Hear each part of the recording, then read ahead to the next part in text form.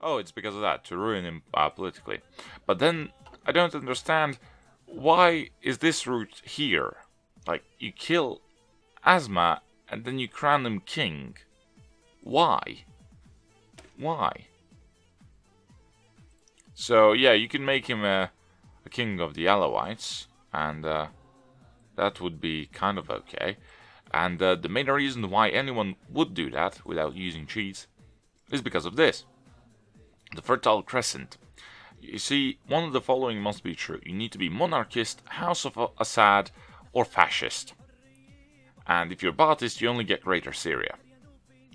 And I don't like that, because this thing doesn't give me any cosmetic changes. Uh, you only get, like, Northern Palestine, Lebanon, Hatay, and Northern Iraq, and that kind of doesn't really look, the border guards are bad. Uh, the Fertile Crescent looks mu much nicer.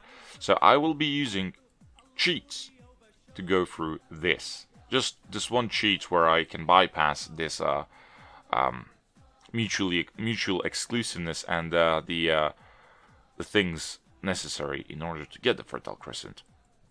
Now, obviously, uh, there's Soviet funding basically become a communist dictatorship, uh, which is in the Warsaw Pact, far right resurgence, promote new secularism, assassinate Bashar, uh, drive out the Zionists. Uh, this is, I don't know who's.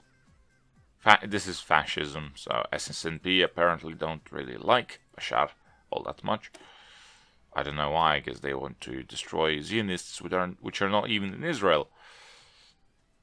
Then there's convince uh, Bashar to change uh, like to become the leader of the SSNP, so he survives, which is kind of okay.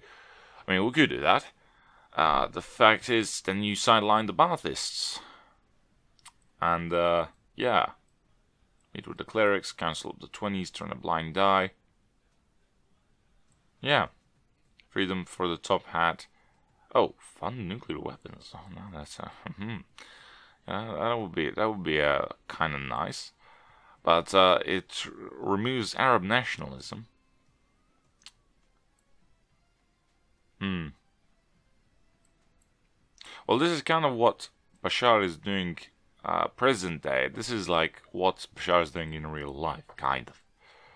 But uh, then again, we go back just because this route right here, I think, is the best you can have because of sadism, you make a cult of personality, obviously have the family ties, I'll uh, maintain uh, total secularism. You have raw military strength, blah blah blah, propaganda machine, and then you can demand or designate a success, successor, and you can put your wife. So we can have Asma al-Assad leave uh, Syria after Bashar resigns, which is good, which is kind of nice. Not even sure uh, yeah, Hafez Al Assad Jr. Don't even don't even know how he looks like. I think I saw him once on Twitter, but uh, yeah. I mean, okay, so personal favorites here would be not the House of Assad because you kill Asma, which is I think a really good woman. Uh, she is the perfect like first lady of any president. Um, but yeah, if you wanted to play something, I suggest playing uh, the SSNP Baathist coalition or the actual Baathism tree. Um, I like this one now. I kind of dig it. However, is in power and Furious. The only thing this one's good for is that it gives you one nuclear technology. But then you have PMCs roaming around, and I'm not sure if I would like that and legalize monopolies. It's basically dicta- uh, dictatorship, but uh, Turkish Alliance, right? Um, yeah, we're gonna keep going with the Baathist route. So I've uh, explained as much as I could. We're gonna go with the Syrian Freedom Decree.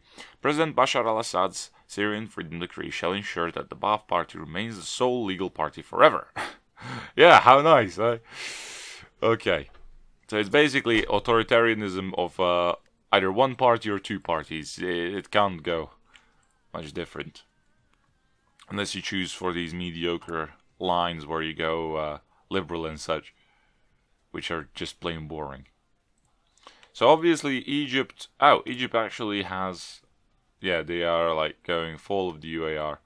Syrian Freedom Decree, okay. I didn't read that, oh well. What do they have? An idealist president, fresh elections, or, uh, what's that? Intelligence agency control, uh, and President El Sisi. Hmm. Oh well. So we're gonna go with the first Ba'ath con Congress.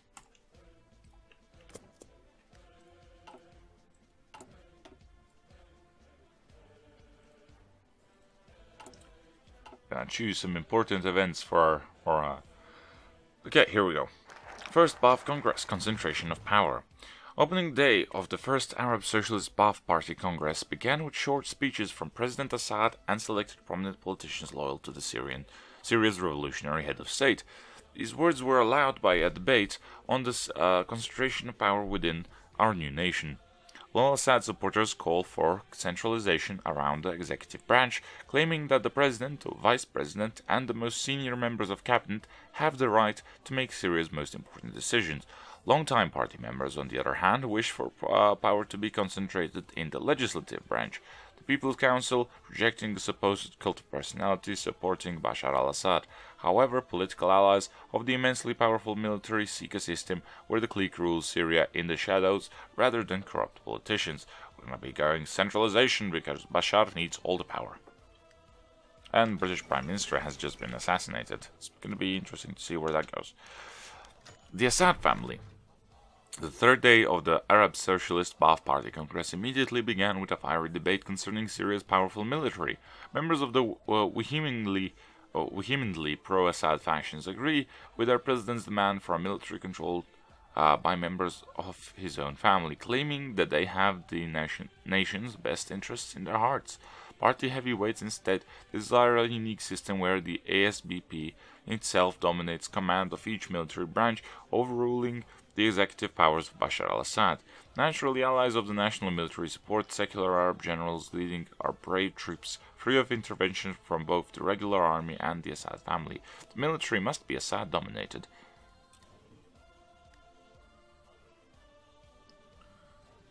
role of religion and ethnicity.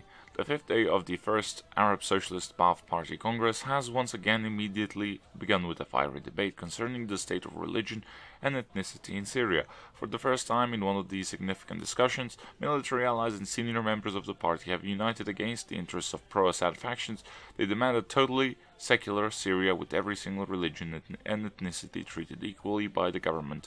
On the opposing end, the clique calling for, for Alawitization of the nation uh, from government to education to military branches. We're going to go with secularism here. And votes being counted. Just a week after opening day, the first Arab Socialist Ba'ath Party Congress has concluded. Nationally televised debates concerning the most pressing political issues in Syria were viewed by most of the nation and brought much pressure to relevant factions. New votes now votes decide uh, decide decided at each debate will be counted by the Speaker of the Public Council, who will subsequently announce results of each policy agreement tomorrow. The pro-Assad faction is expected to succeed in securing its desired domestic policies, but some interna international political analysts have begun to speculate that the stunning party upset against Syria's president could come to fruition. Whatever the result may be, it is absolutely certain that the entire country is waiting eagerly for an end to this circus. Assad family consolidates power. The votes following each debate in Syria's Ba'ath Party Congress have finally been counted, and it appears as though pro-Assad factions have managed to succeed in enforcing their policy viewpoints. Overall, the vision for this nation dictated by President Assad and his fellow faction members within the party has been chosen as the superior path the People's Council Speaker announced to lawmakers in a short address that he would subsequently be resigning from his post due to allegiances with anti-Assad cliques that failed to claim victory. This will surely trigger a domino effect with other Syrian politicians who will have realized their fa failure in establishing a nation centered around the party's ideals rather than the president's. Long live the Assads! yes, Assadism. Thank you. Alright, so we're gonna start off with Cult of Personality A cult of personality surrounding the president, we can ensure that Syria doesn't fall into the wrong hands. Bloody glorious words. Now, tell me where did the Americans get to? The influence of Boston, where the hell is that? Okay, uh, these guys are, uh, Bernie gave a speech. Bernie I may just become NazBol if we wait for long enough. Uh, poor Gaddafi is not doing all that well. First family to visit Napoleonic Museum. On their first first trip to the Cuban capital of Havana, the first fa uh, family has been invited to the Napoleonic Museum for an, uh, an exclusive tour. Bashar and Asma are reportedly excited, but Syria's recently established intelligence agency has just issued a warning to cabinet. Supposedly, they have been they have intercepted communications in Havana that suggest an assassination plot is brewing, and any more days in the city would pose a terrible threat to the president. Ministers have issued a recommendation to the couple urging them to cancel the tour and re return to Syria as soon as possible. Nevertheless, recommendations mean nothing if Asma can easily convince Bashar to stay. Now, I'm gonna save the president and tell them to come back because you never know what could happen over there.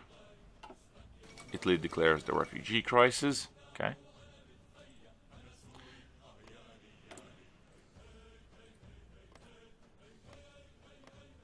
Wonder where uh, Italy went down.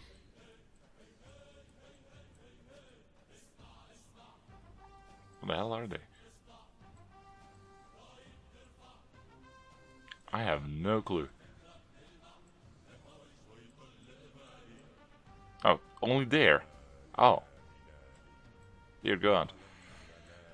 Alright, we'll see where Italy goes. Russia just fortified its power. Oh, Queen Elizabeth has been humiliated. It's they've locked her out. Okay. We're going with the snap elections. Let's see what happens there. We see a far right emerging, maybe. Hmm.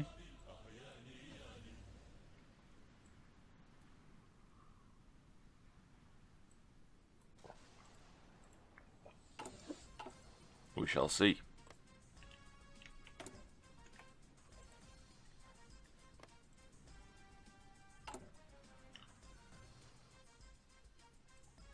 Okay, we have cult personality. Let's go with family ties. The Al Assad family is powerful political. The Al Assad family is a powerful political family that has dominated Syrian politics even under the United Arab Republic. Now we can replace prominent members at all levels of government and inside the military itself. Basically, making a uh, making a monarchy without the actual royalty.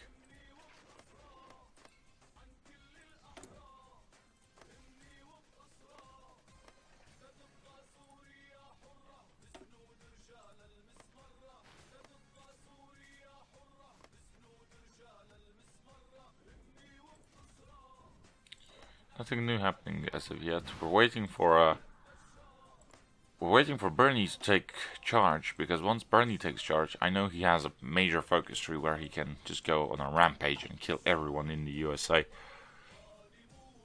Because we did that, you remember? I believe Canada's also going to have uh, a Donald Trump focus tree eventually. Not sure when though.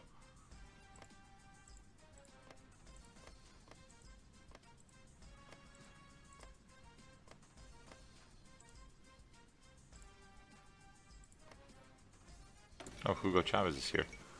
The Historic compromise. Telling President uh, Central Right. Jeb Bush. Jeb Bush.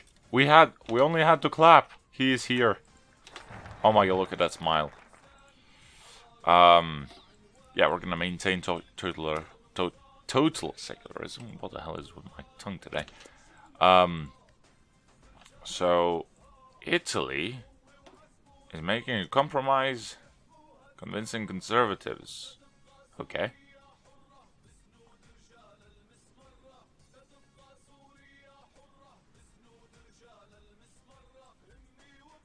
So, communists can publicly support Christian values. Okay.